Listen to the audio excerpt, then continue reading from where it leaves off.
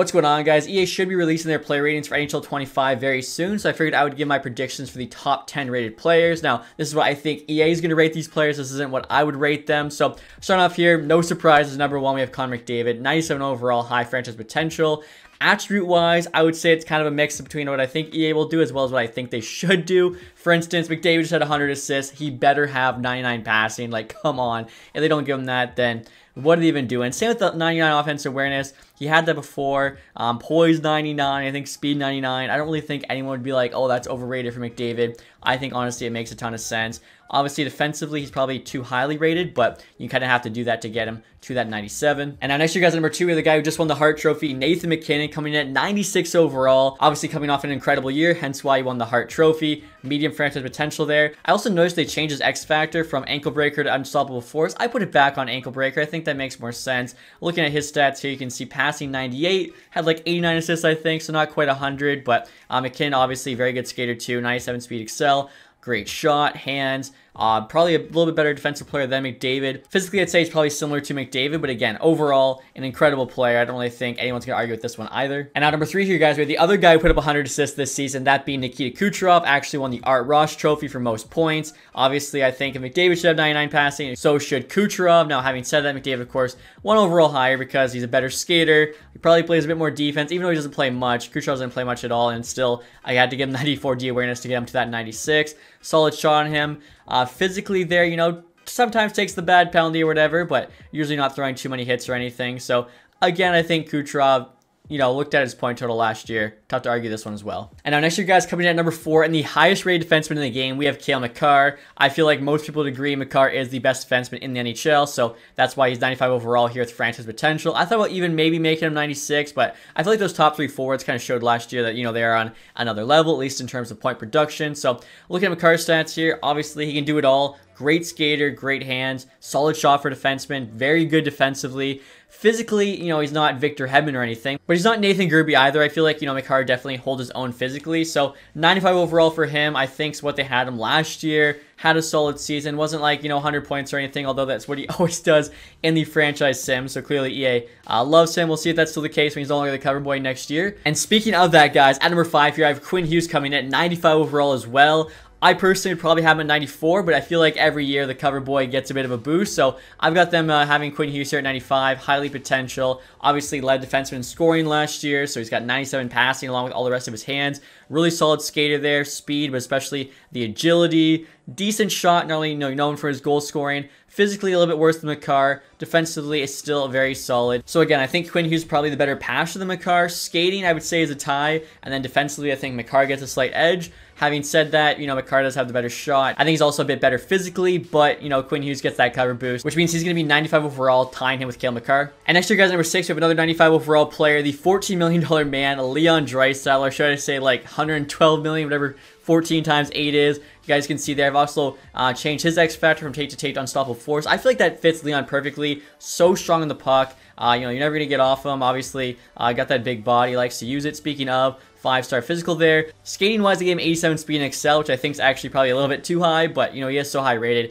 It had to be a little bit decent. Uh, of course, too, defensively, like most of these top-end forwards, it's higher than it should be, but he's got solid hands, great shot. Draisaitl, of course, multiple 100 plus point seasons. There's a reason he got paid $14 million, so, and that's why I've got him at 95 overall. And now, guys, at number seven, we have the final 95 overall player. That is Auston Matthews franchise potential there. Of course, he still has that signature shock and awe zone ability. I think he's got the best shot in the game right now in NHL 24. Probably going to be the case again in NHL 25. 98 slap shot and wrist shot accuracy with 94 for both powers. Uh, 98 offensive awareness. Honestly, you could probably make that 99. Defensively, he's actually one of the few high-end forwards that deserves the defensive rating. 93 D awareness. You could probably bump that to a 94. 90 shot block. For the last couple years, he's been uh, the highest or second highest forward in terms of blocked shots.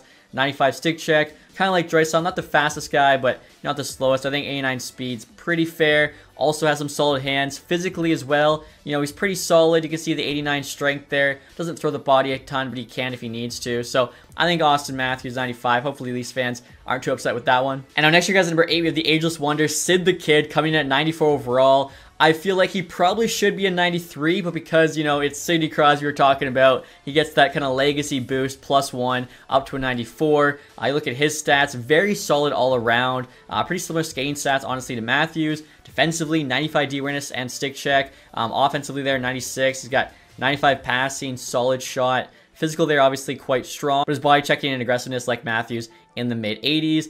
Again, I think Crosby, like I said, is probably a little bit overrated at 94, but when you look at his body of work, you look at the name, I do get it. I think, you know, obviously we've had issues with these kind of ratings in the past with, say, Patrick Kane last year being like the best right winger, or like top three right winger. Alex Ovechkin, I think, too, has been a 90 plus for a bit too long. So curious to see what those two guys are rated. Hopefully, um, it's a bit more realistic. I think of the three, Crosby definitely still deserves to be in the 90s. The other two, not so much. And next year, guys, at number nine, we have another 94 overall player coming off a career year. That is Artemi Panarin. Absolutely tore it up. I think he finished fourth in scoring. Uh, if you guys look at his stats, very solid all around. Obviously, playmaking would be his best ability, all 97s, but uh, solid shot on him too. Like, what do you have last? He had a lot more goals last year than I remembered him having. I'll say that.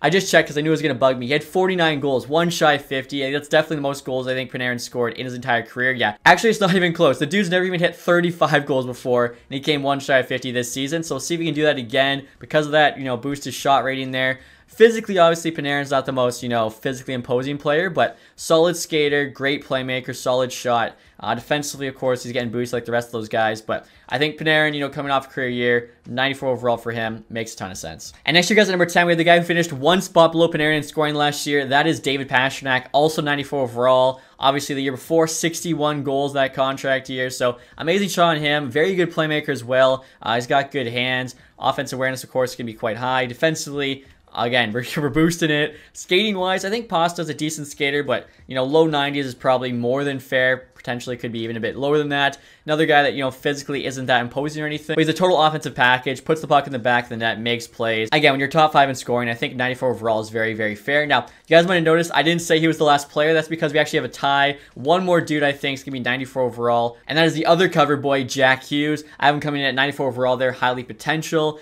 Again, kind of like Crosby, I think Jack Hughes should probably be a 93, but he's on the cover. He's going to get that boost. So I feel like, you know, they get him up to that 94. You look at his stats here. Deaky 98 could probably be 99. Uh, sick hands, though, for sure. Pretty solid shot on too. Defensively, Jack Hughes actually is a pretty solid defensive player. So 93D awareness, 94 stick check, I would say is more earned. Skating-wise, pretty quick, but I'd say more than that is just how agile he is. 97 agility. Physically, of course, not going to be very high. Like, you got three-star physical there. But uh, Jack Hughes, obviously, franchise center. He's a cover boy. I think EA might have him coming in at that 94 overall spot. Again, personally, I think probably one overall too high, but not terrible rating. And actually, guys, since we're uh, on New Jersey, I figured I'd give you my prediction for Luke Hughes, the third cover boy.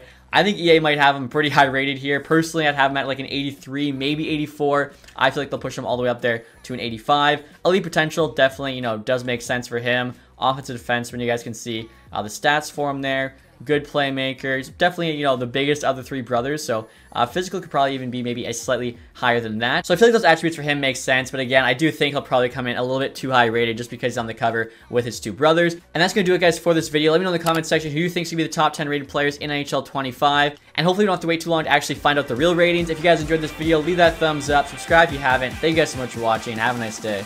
Goodbye.